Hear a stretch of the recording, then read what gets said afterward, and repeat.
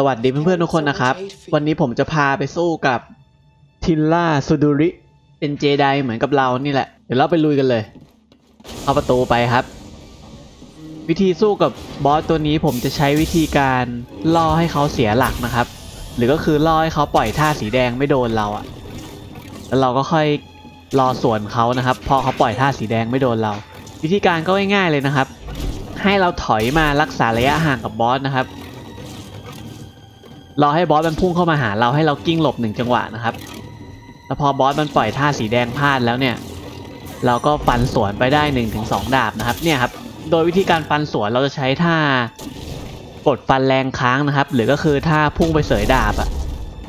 วิธีสู้กับบอสตัวนี้ให้เราใช้ double lightsaber สู้กับเขานะครับ เพราะว่าเขาก็ใช้ double lightsaber สู้กับเราเหมือนกัน ถ้าเราใช้ดาบมือเดียวสู้กับเขาเนี่ยมันจะสู้ยากครับ เนี่ยเห็นไหมผมจะรักษาระยะห่างไว้ประมาณนี้เลยนะครับ พอเขาพุ่งเข้ามาเราก็กิ้งหลบข้างๆหนึ่งจังหวะก่อน แล้วพอเขาใช้ท่าสีแดงพลาดเนี่ย ให้เรารีบพุ่งไปเสยดาบใส่เขาเลยครับ หรือไม่ก็คือฟันธรรมดาใส่เขาก็ได้นะครับท่าสีแดงเขาจะมีอยู่ 3 แบบก็คือ พุ่งเข้ามาฟันกับทุบพื้นเป็นปล่อยขึ้นพลังนะครับ แล้วก็พุ่งเข้ามาจับนะครับ เรารอส่วนเขาได้หมดเลยนะอะอันนี้ท่าท่าแทงสีแดง เขาแทงไม่โดนเราเราก็เล่นเลย อันนี้ท่าทุกพื้นนะครับ ให้เพื่อนๆกระโดดหลบนะครับ กระโดด 2 ชั้น อะเขาใช้ท่าสีแดงแทงพลาดอีกแล้ว เราก็สวนไปนะครับ ถอยมาเรื่อยๆนะครับ ให้บอสมันใช้ท่าสีแดงพลาดเมื่อไหร่เราค่อยเข้าไปฟันใส่เขานะครับ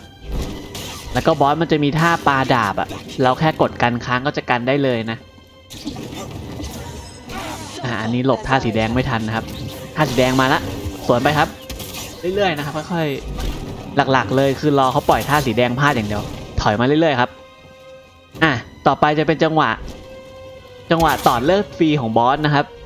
บอสมันจะเรียกโดนมาเนี่ยครับให้เราถอยมาให้พ้นระยะยิงของโดนนะครับ แล้วก็รอ parry ท่าปาดาบของบอสนะครับ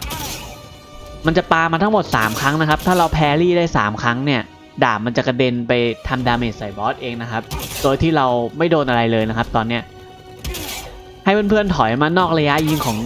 หุ่นดรอยด์ที่บอสมันเรียกมาครับเนี่ย แล้วก็รอ parry ดาบไปเรื่อยๆนะสองอันที่สามอันที่สามเขาจะปล่อยมาเร็วนิดนึงนะ ถ้าเรา parry ได้เลือดบอสมันจะลดไปเรื่อยๆเห็นไหม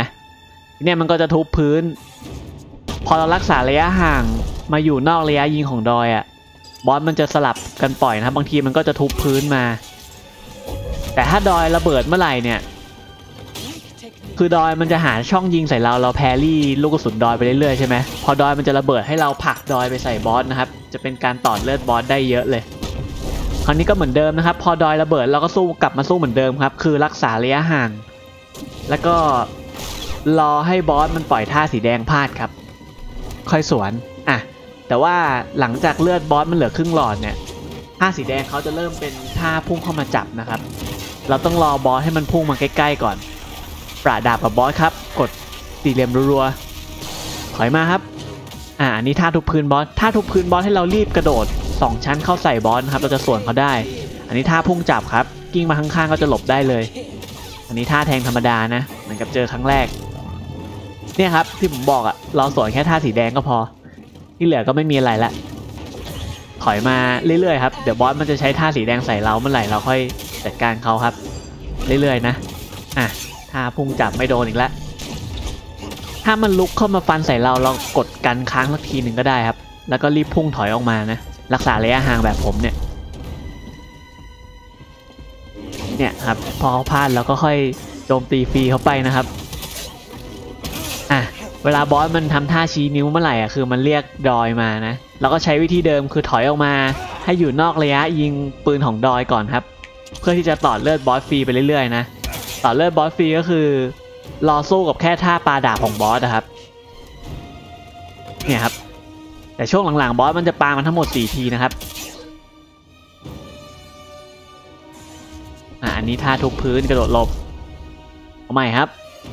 ยืนอยู่อย่างเงี้ยแหละครับหนึ่งเพื่อนต้องแพรี่ให้ติดนะครับสองถ้ากันธรรมดามันจะทำเลือดบอสลดไม่ได้นะ อะ ครั้งที่สี่โอเค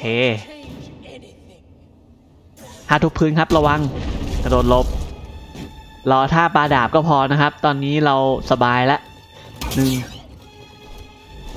สองสามครั้งที่สี่จะปล่อยมาเร็วนิดนึงครับอืเรียบร้อยนะครับ ง่ายๆเลยใช่ไหมครับ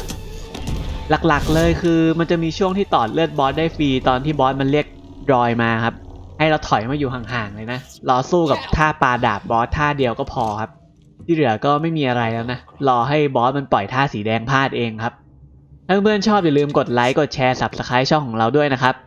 แล้วพบกันใหม่กับคลิปหน้า สวัสดีครับ